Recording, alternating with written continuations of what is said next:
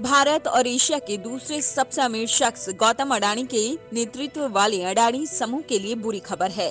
ऐसा इसलिए क्योंकि नेशनल सिक्योरिटीज डिपॉजिटरी लिमिटेड ने तीन विदेशी funds Albula investment fund Cresta fund और एपीएमएस इन्वेस्टमेंट फंड के खाते फ्रीज कर दिए हैं।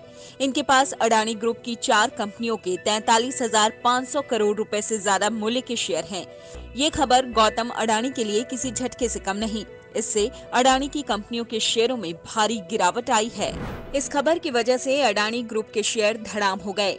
अडानी इंटरप्राइजेस के शेयर 15 फ़ीसदी टूट कर एक हज़ार तीन सौ इकसठ दशमलव दो पाँच रूपए पर पहुँच गए। Adani ports and economic zone 14 फ़ीसदी, अडानी पावर पाँच फ़ीसदी, अडानी ट्रांसमिशन पाँच फ़ीसदी, अडानी ग्रीन एनर्जी पाँच फ़ीसदी, अडानी टोटल गैस पाँच फ़ीसदी टूट गया।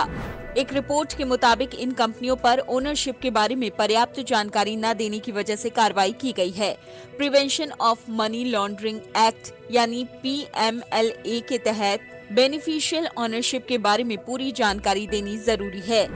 अभी तक इस बारे में अडानी ग्रुप की तरफ़ से कोई बयान नहीं आया है। ये तीनों फंड मॉरिशस के हैं और सेबी में इन्हें विदेशी पोर्टफोलियो निवेशक के रूप में रजिस्टर्ड किया गया है। तीनों का संयुक्त रूप से अडानी इंटरप्राइजेस में छह दशमलव आठ दो फ़ीसदी, अडानी ट्रांसमिशन में आठ दशमलव शून्य तीन फ़ीसदी, अडानी टोटल गैस में पाँच दशमलव नौ दो फ़ीसदी और अडानी ग्रीन में तीन दशमलव पाँच आठ फ़ीसदी का निवेश है। Video desk Amar Ujala dot com. Download करें अमर उजाला ऐप और पाएँ खबरें लगातार। अगर आप ये वीडियो YouTube पर देख रहे हैं तो हमारे चैनल को सब्सक्राइब करें और बेल आइकन को दबाना ना भूलें। अगर आप Facebook पर यह वीडियो देख रहे हैं तो हमारे पेज को लाइक करें।